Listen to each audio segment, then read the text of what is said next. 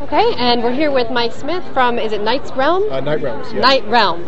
Okay, so um, this is a live action role playing group, and um, we were just taking a look at these fantastic latex weapons. So, why don't you just show us these for the camera? Okay, like this is a dagger. Um, it looks very realistic. Doesn't hurt when you hit. Uh, we really encourage striking motion like this rather than like quick action. Uh, we try not to have too much thrusting because that can be a little bit dangerous. This is a Go one-handed. ahead, you can hit me. All right. Right, didn't hurt. And uh, here's a sword. Has a pretty good reach. Do you want to? Sure, I will. I'm not even a lefty, and I'll whack you back. All right. So it's a, it looks realistic, um, but yet it doesn't hurt. Um, it allows us to uh, keep in character, you know. So, how did this group get started? Well, this group started in 1997. I only became involved about three years ago. Um, but there had been other LARPs around, and James Kimball, James C. Kimball, who's who's here before, he'll be here again later. Um, he and another person started the game off, and through a series, through the years, they've uh, adjusted what their rules are to really hammer them out, so that this way everything's fair. It's uh, you know, it's okay.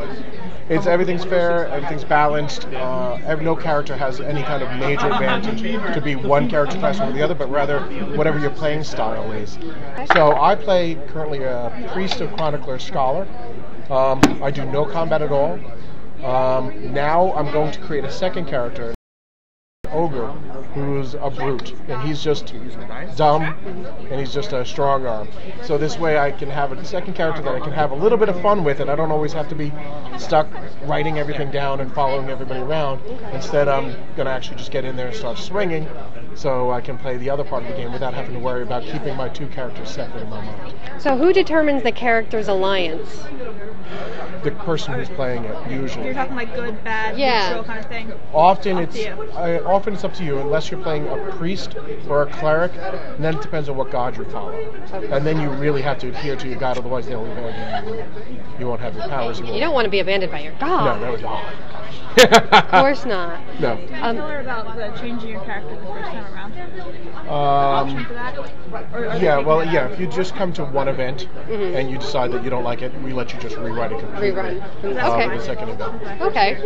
And so you meet about once a month, roughly. Yeah, that one's. Um, do you have like one major event that you you know you have several days long? That's main ju- mod? Yeah. Uh, no, no, no, no. Uh, What we have is no. Every time, almost every time we meet, it's just for it's for a weekend, Okay. Friday night to Sunday morning.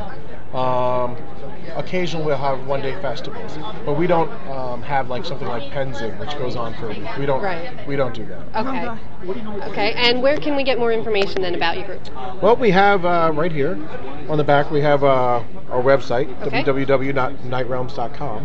Great. Um, and if you are interested in coming to our events, uh, one of these will give you 50% off your first uh, your first visit. Great. So I'll fill these out for you. Well, thank you, Mike. You're welcome. Pleasure. Nice talking to you, Beth. It was nice talking to you.